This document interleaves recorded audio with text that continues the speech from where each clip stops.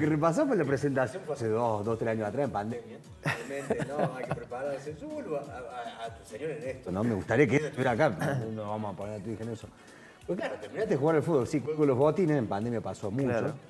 Y tu señora dijo, oh, por fin. Y de repente, el por fin, che, estoy en el cuerpo técnico de Belgrano, me tengo que ir todos no, los días de una nuevo. cosa, una cosa hermosa porque eh, me retiré el 5 de enero y, y Guille me llamó dos meses después.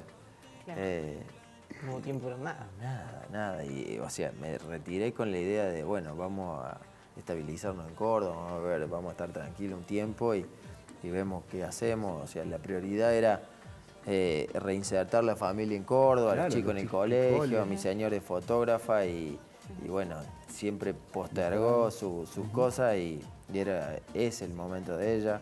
Eh, entonces la prioridad era esa y, y bueno, eh, se cambiaron. ¿A qué hora te, ¿A qué hora te llamó? Es interesante. ¿A qué hora te llamó Guille? Porque Me llamó un domingo a las 9 de la mañana. ¿Decía Guille Farreo Me mandó, un un, número me- que me mandó un mensaje, me mandó un mensaje.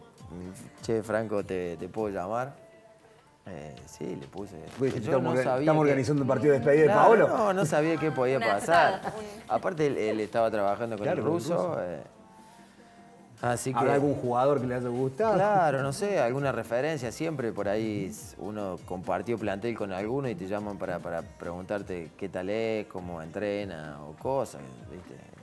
Y me llamó y bueno, me comentó esto y, impactó. Lo cesaste, llegó el, mediodía, te sentaste a comer, hasta el mediodía no, no, hablaste. no, no, encima estaba, estaba la familia de, de mi señor ese, ese domingo ahí en casa. Y le digo, vení porque tengo que hablar con vos urgente.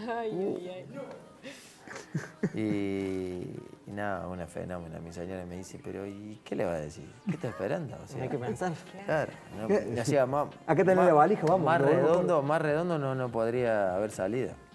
Porque si uno lo piensa, si hubiese dicho, che, me retiro y a los dos meses estoy trabajando en Belgrano, eh, es impensado. Y vol- volvieron a la mesa, le contaron a toda la familia y toda la familia se volvió feliz. de Sí, tanto de sí, ser sí, Córdoba. feliz, feliz, pero bueno, eh, también eh, se empiezan a cambiar un poco los planes, esto que te hablaba antes, ¿no? Por, por el tiempo, por, por no estar, por viajar todos los fines de semana. Eh, pero por supuesto que feliz y agradecido.